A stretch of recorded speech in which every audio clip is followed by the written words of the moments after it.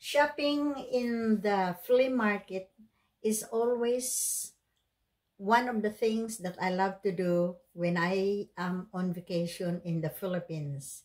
You know, because I saw a lot of different kinds of farm products and they are fresh. That's why I really like going flea market shopping. But am I really doing the right thing? What's the video? May dili loob.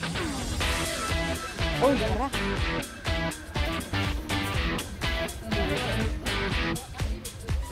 Pila man? Ha?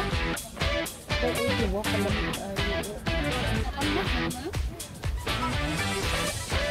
Balik ra ko 480.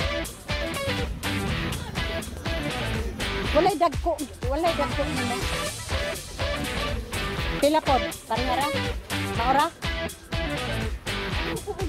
Lagi, akong dalpon ba? Ako, lamit ko din buling na. Pila? 330?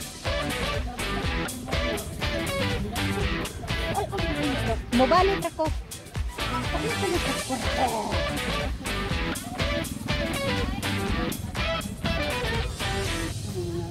May gan- So, kunya karon